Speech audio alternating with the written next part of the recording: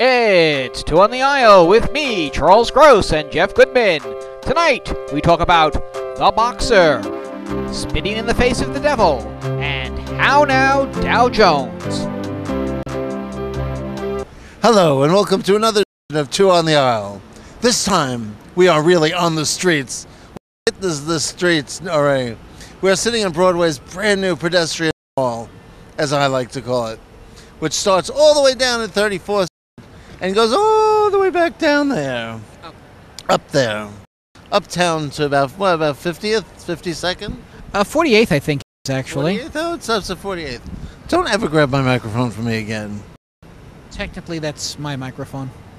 By the way, my name is Charles Gross. Oh, yes, I'm Jeff Goodman. Welcome to Two on the Aisle. Our first show of the evening is The Boxer. Now, this is a basically a silent film on stage. It's in the tradition of Chaplin, Keaton, but I think there's a lot of Bill Irwin in it also. It could be. Essentially, there is a Velma. Well, why don't we tell the story? It takes place in the Depression era where a lot of women, in order to get money, dressed like men to get work. So she keeps pretending to be a man, but is not really successful at it. That's Velma. What's Velma? That's her name. Yes. That is our heroine hero. And along the way, she meets this struggling boxer. A very bad boxer at that, who is being trained at the moment, but she thinks he's getting beaten up. So she knocks out the trainer. And she'll train him to make up for that. Right. And essentially, you have this whole array of silent movie shtick, including chases and fights, and yes, romance. Madcap. Very much so, with some wonderfully scene appropriate music. Uh, from Oh, the music is one of the best parts of the show. absolutely, this is Bee Wolf. She is the show's pianist. I have to say, this show, all the music, all the sound effects are done live, which certainly adds. by two people. Beowulf on the piano, and then the Johnny. If you keep it, woo, this is a tough name. Sequencia. Close enough. He is on the percussion. And the string, the sound effects, is what he's listed as. Oh, Really, very well done. Very, that means a synthesizer. very Stasis was written and directed by Matt Lyle, whose wife, uh, Kim Lyle, plays the. And I have to say, had they been around when there actually were silent films in the days of Chaplin and Keaton, I think there really would have been a whole series. Oh, I don't know. You see. I think this was a very sad piece, but yet I think that they would have been a very ordinary piece in the uh, in the silent film era. But let's not go over the fact that this is a very good piece. Let's not put them in different eras. Let's keep them right where they should be in the, the early O's of the 21st century. and owes as that. And uh, Kim Lyle is just wonderful as Velma. She is funny. She is. She, she's just How about my pal Jeff as the boxer? yes. Jeff Swear, Jen, excuse me, as the boxer. A wonderful physical comedian. I was at um, when I was uh, doing the B-roll. I was What is a B-roll, Rolly, for those of us? the scenes that we will be seeing very shortly from the boxer. Oh, I was very impressed, and all, all I didn't realize how much physical shtick he did until I uh, was looking at it again, and he really does, and they make a wonderful pair, and this really is a very, very special and very entertaining play. I showed the scenes uh, to my they were laughing out loud. So, before we're going to go to the Well, let's let's talk a little bit more, and then we'll show a scene or two from the boxer. But uh, I don't know if there's much more to know other than they fall in love and.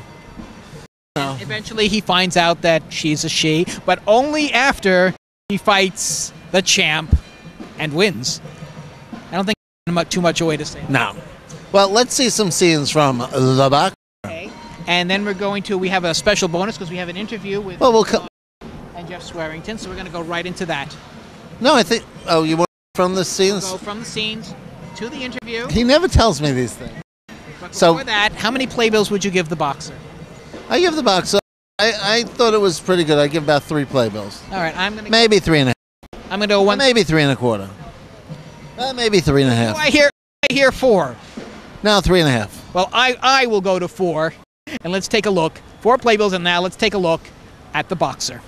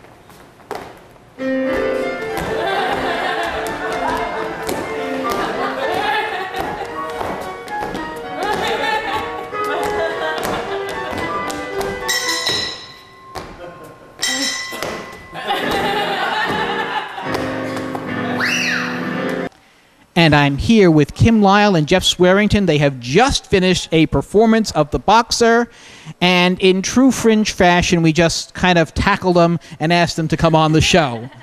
And that's kind of appropriate because there's a lot of tackling in your show. Yes, a great deal of physical action for sure. This is kind of this. I think was sold as a kind of uh, silent movie on stage in the tradition of Keaton and Chaplin. Yeah, we definitely took a lot of inspiration from Buster Keaton and Charlie, or Buster Keaton and Charlie Chaplin as far as our characters go, and silent film in general for all the different physical bits and things like that. What about uh, someone like Bill Irwin, who certainly Bill Irwin is definitely, definitely uh, um, a part of this. Our director and writer of the play is a big fan of his, and um, and uh, we were hoping to get him here, but, but it didn't quite work out. Okay, well, we actually have a copy of your show, so we'll be happy to send it to him if we oh. if we can find him. Oh, you know, I'd, I'd be interested in having a copy of that. That can be arranged. Fantastic. Okay.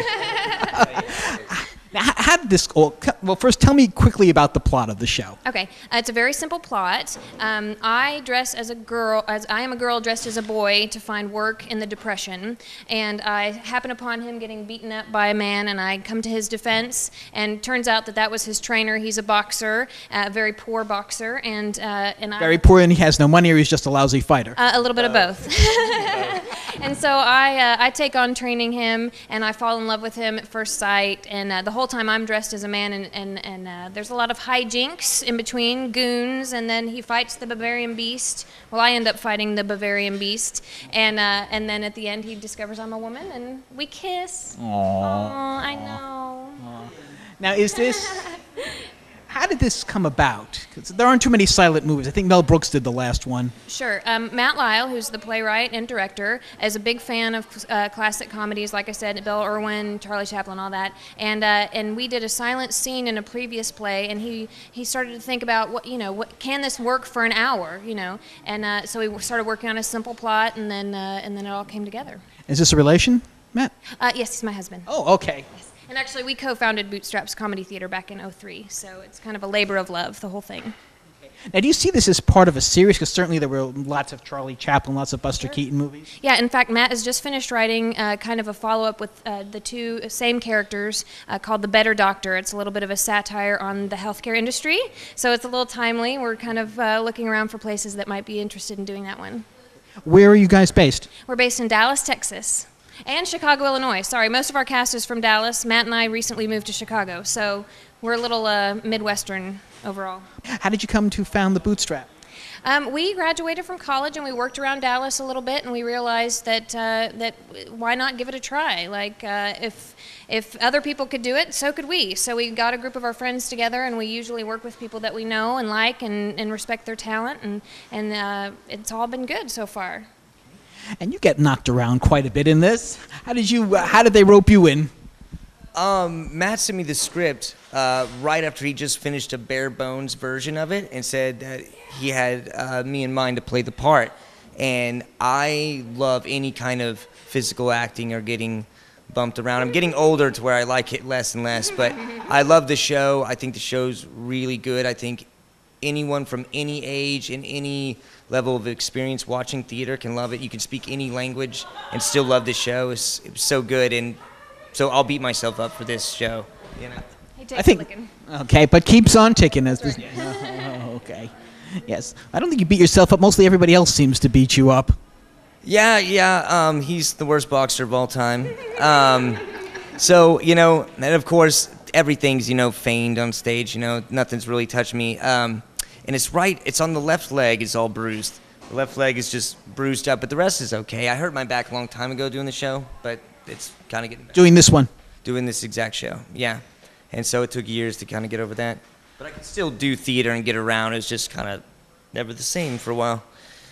Who did the music selection? I noticed that there are some very scene appropriate tunes, and somebody must love Rodgers and Hammerstein very much. That is our brilliant uh, composer and, and pianist, B. Wolf. She's amazing. She's got this uh, lexicon of all of these references. Half of them I don't know, uh, and and she seamlessly interweaves them with her own uh, compositions, that uh, themes that she composed just for this show.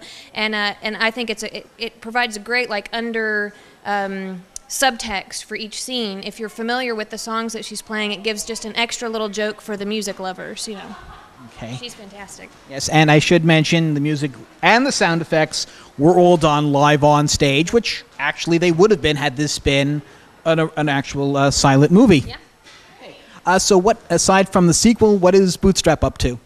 Uh, Bootstraps will, would love to do the boxer in Chicago sometime. That's on, on the horizon. We don't have any specific plans.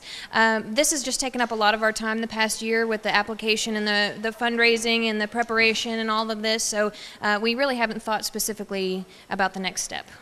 Okay. But we will do something, Okay. and it'll be funny. Okay, and we are we are hoping that Velma will return, maybe at the Fringe, Chicago.